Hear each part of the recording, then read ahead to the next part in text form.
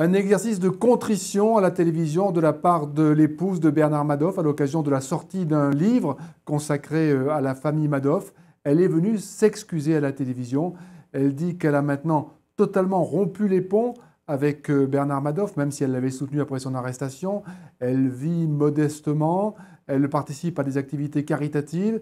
Elle raconte aussi la souffrance qui a été la sienne, souffrance de mère lorsque leur fils Marc Madoff s'est suicidé deux ans jour pour jour après euh, l'arrestation de Bernard Madoff. Il ne supportait pas la culpabilité. Alors quand on regarde l'interview, on croit euh, à la souffrance, on a plus de mal à croire à l'ignorance. En tout cas, des victimes de Bernard Madoff se sont élevées contre ce qu'ils appellent l'étalage médiatique, car il y a aussi ce matin une interview dans le très respecté New York Times, l'étalage médiatique de ces gens, disent-ils, qui se font de la publicité alors qu'il ferait mieux de se faire oublier.